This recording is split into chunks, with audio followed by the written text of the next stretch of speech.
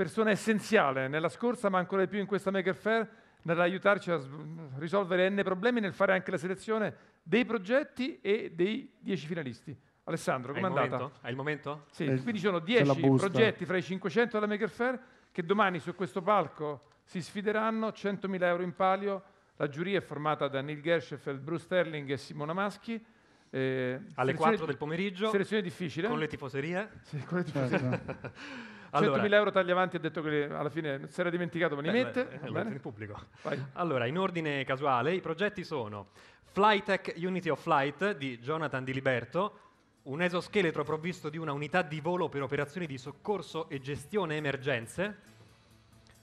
Il secondo, forse abbiamo anche le immagini. già, per- per Va bene, prima- il secondo progetto in lista è Glare Smile, il primo spazzolino 3D che lava automaticamente i denti con la tecnica corretta in soli 10 secondi. Poi abbiamo il Maker Economy Starter Kit di Wasp, un progetto esportabile che sostiene un nuovo modello di sviluppo interamente incentrato sulla autoproduzione.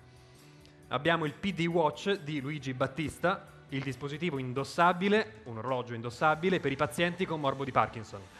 Poi abbiamo dal Regno Unito Ultrabike di Sound for Sight Technology, è un kit che permette a persone di tutte le età, eh, eh, non vedenti o ipovedenti, di andare in bicicletta.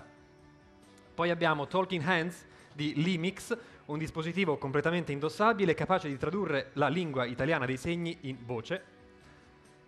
Poi abbiamo K-Now Casting di Artis, innovazione nel monitoraggio dei rischi indotti da piogge tramite l'analisi del segnale TV satellitare ricevuto da comuni antenne paraboliche. Poi abbiamo Baby on Board di Open Biomedical Initiative, la incubatrice open source a basso costo e stampata in 3D. Poi abbiamo dalla Slovenia il progetto Coruza dell'IRNAS, il primo sistema ottico wireless open source per eh, trasmettere dati in ambienti urbani capace di trasmettere fino a 1 o anche 10 gigabit.